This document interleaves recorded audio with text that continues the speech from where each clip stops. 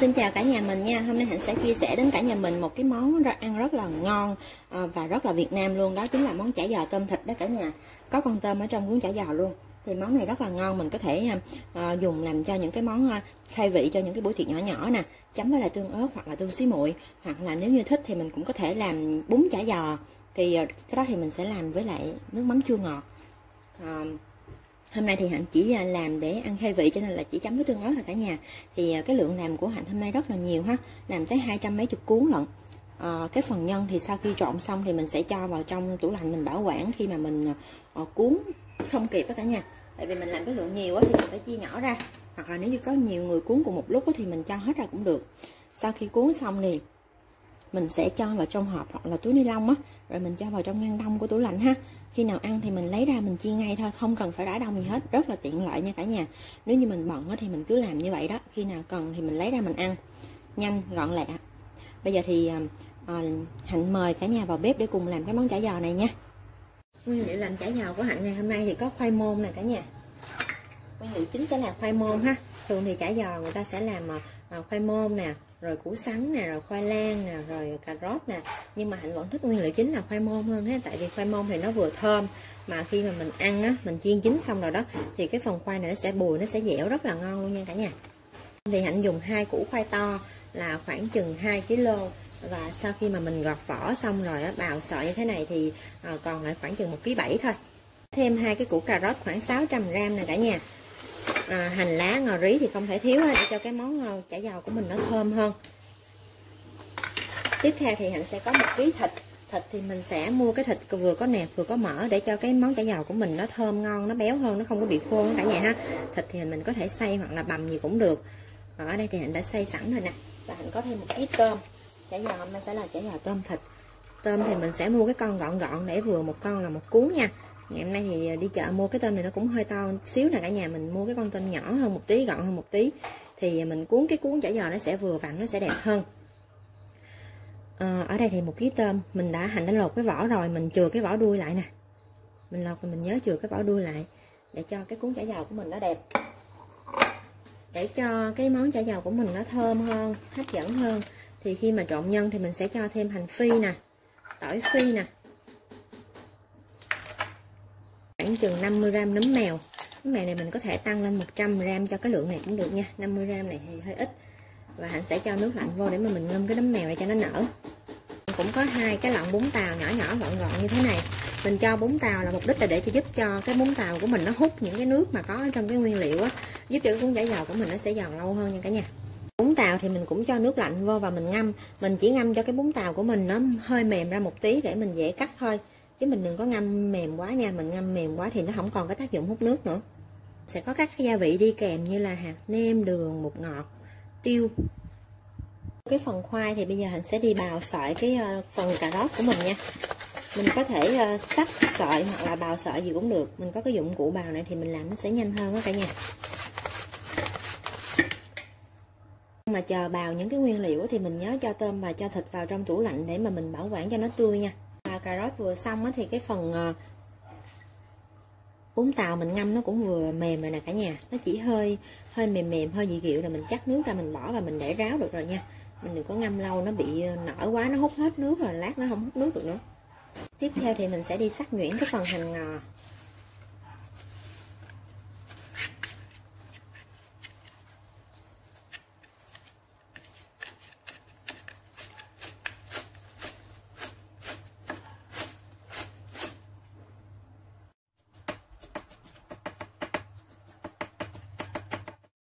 cho tiêu xay.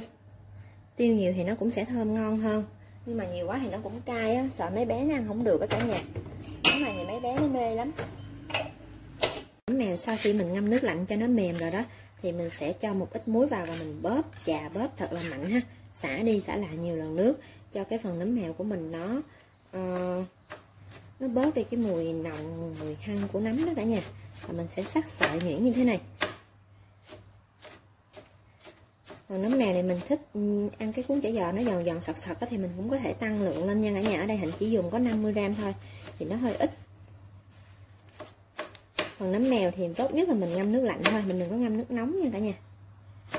Mình ngâm nước nóng thì vô tình là mình sẽ làm cho cái ờ, nấm mèo của mình nó rút ngược cái ờ, cái nấm mốc ở bên ngoài vào trong nấm á. Mình cho cái phần nấm mèo vô luôn nè cả nhà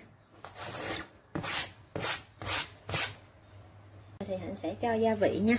Với cái lượng nhân như thế này thì hạnh sẽ cho vào trong này là 100 gram đường. Hạnh sẽ múc bằng muỗng canh cho mọi người xem ha. Một muỗng, khoảng chừng 5 muỗng canh đó cả nhà. 3 4 5 ha. Một muỗng canh là khoảng 20 gram. Ở đây mình có 5 muỗng là 100 gram nè. 20 gram bột ngọt. Phần tiêu thì hồi đó anh đã cho rồi ha. 20 gram bột ngọt thì nó khoảng chừng 4 muỗng cà phê vung ờ, đó cả nhà. 30 gram hạt nêm.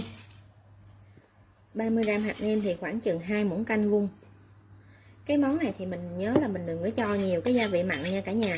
Tại vì ờ, khi mà mình ăn thì mình sẽ còn chấm với lại ờ, có thể là nước mắm chua ngọt này hoặc là tương xí muội hoặc là tương ớt. Cho nên là mình chỉ nêm gia vị vừa phải thôi. Thì ờ, mình chấm nó mới vừa, chứ mà mình nêm đậm đà quá là lát nữa mình làm thành phẩm nó rất là mặn, nó không ngon ha mình sẽ đeo bao tay vô và mình sẽ trộn đều cái hỗn hợp này.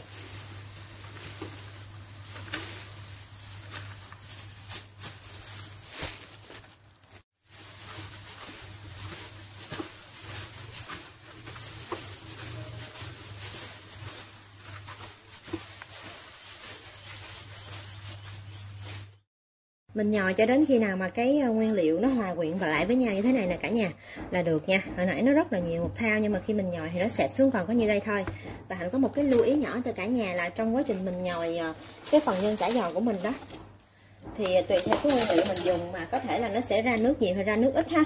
Hoặc là có nhiều khi mình không có kỹ đó, cái phần nguyên liệu của mình chưa có kịp ráo nước mà mình đã trộn á thì ờ, có khi á, nó sẽ bị nó sẽ bị động nước. Như của hạnh là rất là khô ráo nè không có bị ờ, động nước không có bị ướt gì hết nha cả nhà ha. Còn nếu trong trường hợp mà cả nhà trộn nhân xong mà mình thấy có động nước ở dưới cái thao á thì ờ, hạnh có một cách xử lý cho mọi người á là mình một là mình sẽ đổ cái phần nhân của mình ra cái rổ à, và mình phải chờ cho thật là ráo nước rồi cho nó nhiễu hết nước đi rồi mình mới cuốn. Thì khi đó cái bánh cuốn chả giò của mình nó không có bị ướt thì nó không bị mềm hay nó mới giòn lâu được à, và hai nữa là mình sẽ dùng một ít bột năng hay hoặc là bột mì. Nói chung là bột bột gì cũng được. Thì mình sẽ rắc một ít vào tùy theo cái ờ, lượng nước của mình nhiều hay ít nha. Nhưng mình nhớ là mình sẽ chắc bước nước bớt ra rồi mình hẳn cho bột vô. Cái phần bột thì nó có tác dụng là nó hút nước đó cả nhà. Mình cho bột vô thì nó sẽ đỡ bị ướt hơn ha.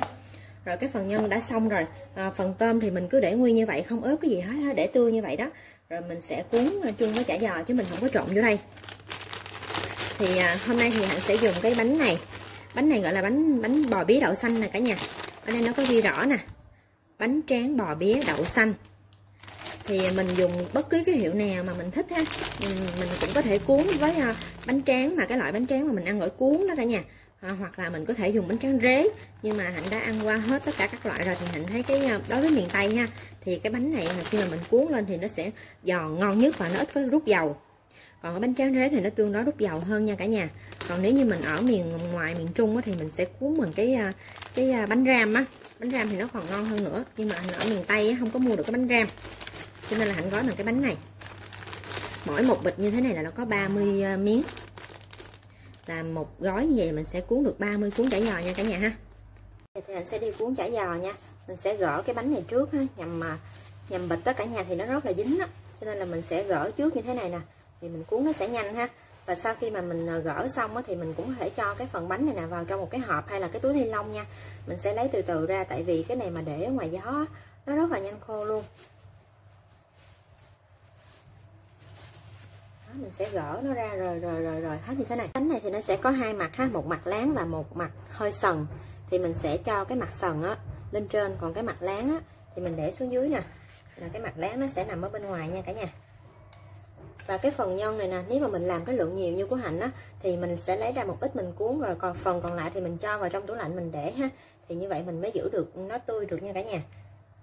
Mình sẽ cho một lượng nhân vừa phải vào trong cái à, cuốn chả giò nè. Lượng nhân vừa phải vào và mình sẽ gấp hai bên mép nó lại như thế này. Mình gấp cho nó đều ha. Xong rồi mình sẽ lấy một con tôm cho vào và mình nhớ là mình để cho cái đuôi của con tôm nè nó lú ra ngoài như thế này. Thì khi mà mình cuốn xong thành phẩm á, thì cái cuốn chả dầu của mình nhìn nó mới đẹp được. Đó và bây giờ thì mình sẽ lần lần mình sẽ cuốn vô. Hạnh sẽ dán mép của cái ờ, cuốn chả giò này bằng ờ, một ít cái phần lòng trắng trứng. Mình ờ, sẽ dùng lòng trắng thôi mình đừng có dùng lòng đỏ nha cả nhà. Tại vì khi mà mình cho lòng đỏ vào trong cái cái cuốn này thì khi mà mình cho vào trong dầu mình chiên nó sẽ nổi bọt nha. Lòng trắng thì không bị nổi bọt. Đó mình đã có được một cái cuốn chả giò rồi nè, cả nhà.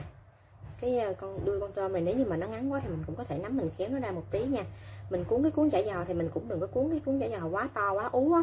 Thì khi mà mình ăn thì cái độ giòn xốp nó không có và nó sẽ rất là ngán. Và hạnh thì thích cái cuốn chả giò nó gọn gọn, thon thon như thế này nè. Nó rất là vừa luôn. Thì bây giờ hạnh sẽ cuốn một cuốn tiếp theo nha. Mình nhớ là cái bề láng thì mình đặt ở phía ngoài nè. Còn cái bề bề nhám thì mình để lên, bên trong rồi mình sẽ cho nhân vào. Mình cho nhân thì mình cũng sẽ trải cho nó uh, rộng rộng ra như thế này nè. Mình cố gắng mình cuốn á, mình trải cái phần nhân mình cho nó đều. Chứ mình đừng có cho nhân vào chính giữa mà hai cái đầu không có nhân á. Thì khi mà mình cuốn cái cuốn chả giò của mình xong á hai cái đầu nó rỗng á. Không có nhân ăn nó không có ngon. Đó cho con tôm vô. Nhớ cho cái đuôi nó lú ra như thế này nè cả nhà cuốn chả giò mà có con tôm nhìn chất lượng cả nhà ha. Mình sẽ dán mép bằng một xíu xíu cái phần lòng trắng trứng. Đó, cả nhà thấy không? Mình cứ cuốn đều tay ha, có thể là một, hai cuốn đầu thì mình chưa có quen thì mình cuốn không có quen. Nhưng mà mình cuốn chừng vài cuốn là nó sẽ đều tay à. 10 cuốn như một nha. Và cái ờ, lượng gia vị mà hạnh đem cho cái phần chả giò hồi nãy hạnh gợi ý với cả nhà là nó vừa ăn đối với gia đình hạnh rồi. Tuy nhiên là nó sẽ ờ, mỗi một gia đình, mỗi một vùng miền sẽ có một cái ờ, khẩu vị ăn khác nhau. Cho nên là để chính xác là nó có hợp với khẩu vị ăn của gia đình mình hay không thì à, cả nhà có thể cho một miếng nhân á rồi mình cho vào trong lò vi sóng. Mình à, làm chín nó rồi mình ăn thử ha. Rồi mình cứ gia giảm theo khẩu vị ăn của gia đình mình. Hoặc là mình chiên thử một hai cuốn nè. Mình cuốn được vài cuốn rồi mình chiên thử mình ăn thử coi nó làm sao. Rồi mình hạ cuốn tiếp. Rồi mình cứ lần lượt mình cuốn như vậy cho tới hết cái phần chả giò của mình nha mình cho nhân chả vào giò vào trong cái lá bò bía thì mình nhớ là mình sẽ đặt sát cái mép này nha cả nhà. Mình đặt, đừng có đặt ở bên trong này quá ha. Mình đặt ở bên trong này quá, khi mà mình cuốn mép thì cái phần mép này nó sẽ dày, nó sẽ dễ bị khét nha. Mình sẽ đặt sát cái cạnh này nè. Rồi mình xếp lại. Cho con tôm lên. Mình cứ lần lượt mình cuốn cho tới hết cái lượng chả giò của mình và chả giò này nếu như mà mình uh, chưa có chiên liền á cả nhà thì mình sẽ cuốn xong rồi mình sẽ cho vào trong hộp như thế này nè. Rồi mình cho vào trong ngăn đá của tủ lạnh. Mình có thể bảo quản được 1 đến 2 tuần nha. Và khi mà chiên á, thì mình sẽ đem cái phần chả giò này ra. Và dầu sôi thì mình cho vào mình chiên liền luôn không cần phải rã đông. Ở đây thì Hạnh đã cuốn được 4 hộp như thế này rồi là cả nhà. Một hộp là 20 cuốn nha. 4 hộp thì 80 cuốn. Thì bây giờ Hạnh sẽ nhắc lại những cái lưu ý nữa cho cả nhà một lần cuối cùng ha. Thì khi mình cho nhân vào thì mình sẽ cho sát cái mép bánh như thế này. Mình đừng có cho bên chính giữa hay bên trong quá. Thì khi mà mình cuốn á, thì cái mép bánh này nó sẽ bị nhiều vòng á, thì nó sẽ dễ bị khét nha. Và mình sẽ xếp hai bên lại như thế này. Mình xếp hai bên mình chừa cái khoảng giữa này một khoảng chừng một cái ngón tay nè là nó vừa nha cả nhà. Và mình sẽ đặt con tôm lên tôm mà mình lột xong mà mình thấy con tôm nó có nước đó, nó có ướt quá đó thì mình nhớ mình dùng khăn mình thấm cho con tôm nó khô để cho cái bánh của mình nó không bị ướt ha. Cái bánh nào mà nó bị ướt thì mình chiên á nó sẽ không có được giòn. Thì mình sẽ đặt con tôm này vào trong cái cuốn chả giò nè. Mình sẽ dở cái mép bánh này lên mình đặt cho cái đầu con tôm nó nằm ở trong rồi mình mới phủ cái mép bánh lên ha để cho cái phần dầu nó cái con tôm nó nó không dầu nó không có chạy ngược vào trong cái cuốn chả giò cho cái đầu con tôm này sẽ bị khô nha. Còn cái đuôi thì bắt buộc mình phải để bên ngoài rồi tại vì mình cho nó lòi cái đuôi ra nè cả nhà rồi mình sẽ cuốn nha. Mình nhớ là mình dàn cái phần nhân này nè, cho nó đều các cái cuốn luôn. Chứ mình đừng có trường hợp là mình để nhân ở chính giữa này không mà hai đầu này không có nhân á. Thì khi mà mình cuốn xong cái cuốn chả giò mình nó không có đều nhân á, hai bên này nó sẽ rỗng. Rồi mình sẽ cuốn cho nó hơi chặt tay một tí nha. Đó, mình cứ cuốn như thế này. Và mình sẽ dán mép của cái cuốn chả giò của mình bằng một ít cái nồng trắng trứng. Như vậy là đã có một cái cuốn chả giò nữa rồi nè cả nhà đó là tổng cộng hạnh cuốn được 80 cuốn nhưng mà cái phần nhân chưa có hết đâu nha. Cái phần nhân của hạnh chắc có thể cuốn được khoảng chừng 200 cho tới 200 ba 40 cuốn gì luôn á. Đó. đó hạnh thấy cả nhà cả nhà thấy hạnh muốn có điều không? Đều tăm tắp luôn, cuốn nào như cuốn ấy luôn. Là cuốn xong thì hạnh cũng sẽ mang đi chiên luôn nha cả nhà. Mình sẽ chiên chả giò trong ngập dầu ha. Mình sẽ cho dầu lên trên chảo và mình thấy dầu nó sôi. Cho đũa vô mình thấy dầu nó sôi quanh đũa là mình cho cuốn chả vô mình chiên được rồi và mình sẽ cho cái à, cuốn chả, cái phần mép cuốn chả xuống phía dưới nè, để cho cuốn chả của mình nó không bị bung ha. Thì ban đầu thì mình cứ để lửa lớn đi cho dầu nó sôi đi cả nhà. Khi nào mà mình cho cuốn chả giò vô á, rồi dầu nó sôi lên rồi cuốn chả giò nó cứng lại rồi đó, thì mình mới cho lửa riêu lại nha cả nhà ha. Tại vì nhân của mình là nhân sống đó, cho nên là mình phải chiên từ từ để cho cái cuốn chả giò của mình nó chín từ bên trong chín ra. Và chả giò này là hạnh cuốn xong thì hạnh chiên ngay nè. Còn đối với những cái cuốn chả giò mà mình để trong tủ đông đó cả nhà. Thì à, mình cũng mang ra rồi mình chiên ngay luôn không cần phải rã đông đâu.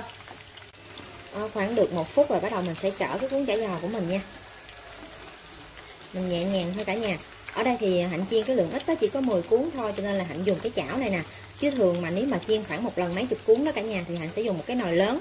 Rồi mình cho tất cả chả giò vô chỗ một lượt luôn mình cho nhiều dầu.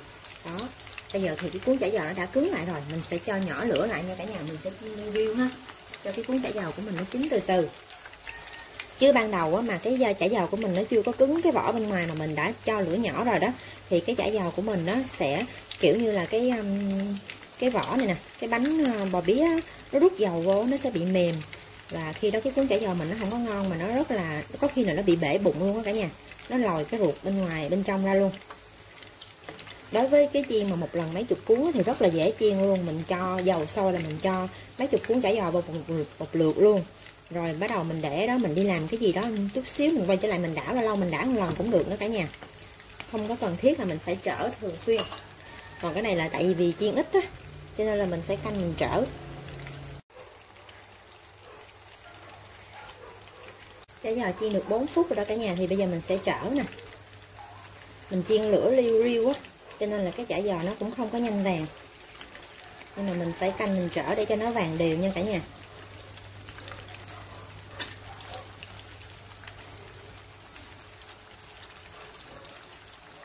Chiên được khoảng chừng là 11 phút thì cái phần chả giò của mình nó bắt đầu vàng rồi nè cả nhà. Thì bây giờ mình sẽ tăng lửa lên, cho cái dầu nó sôi thật là sôi lên để nó đẩy cái phần dầu ở trong cuốn chả giò ra nha cả nhà đó, mình chiên bất cứ cái món gì thì cái lúc mà chuẩn bị lấy ra đó thì mình cũng nhớ là mình cho lửa nó sôi, ào ào lên để mà mình gấp cái phần chả dầu của mình ra.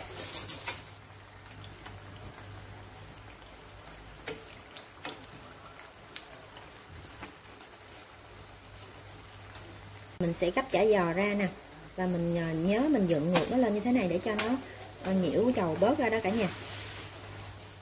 Gấp hết chả giò trong chảo ra thì mình mới tắt bếp ha.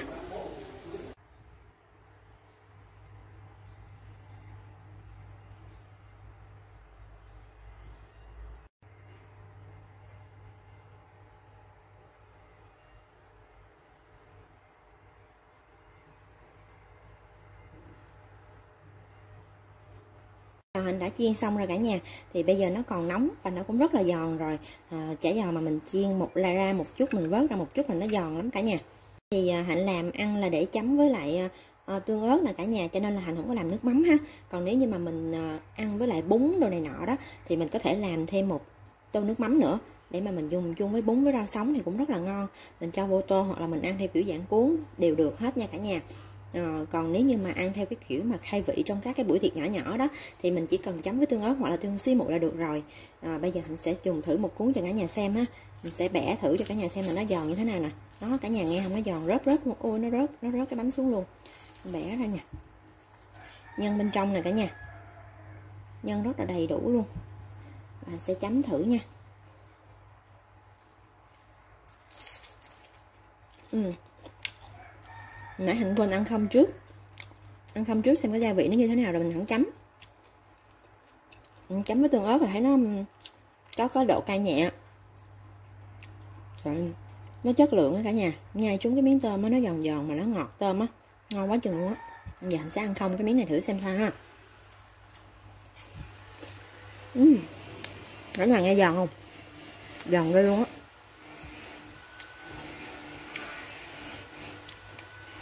Ăn không á thì nó không có được ngon nó không được đậm đà giống như là mình chấm với tương ớt nha cả nhà. Ừ, tại vì mình làm chấm á cho nên là hạnh làm cái gia vị nó vừa phải thôi. Mình chấm nữa thì nó mới ngon. Khoai môn á cả nhà nó bùi bùi thơm thơm. Còn mình ăn trúng cái phần cà rốt và cái phần um, nấm á, thì nó giòn giòn. Nó làm cho mình không có bị ngán. Trúng cái phần tôm thì ngọt thịt da giòn rất là ngon, rất là hấp dẫn luôn. Vậy là hạnh đã chia sẻ xong cái món chả giò, tôm thịt rồi. Cảm ơn cả nhà đã xem clip nha, và chúc cả nhà làm thành công và ăn ngon miệng. Hẹn gặp lại cả nhà ở những video sau. Cả nhà đừng quên đăng ký cho kênh cưng quay miền tây nha, để kênh ngày một phát triển hơn.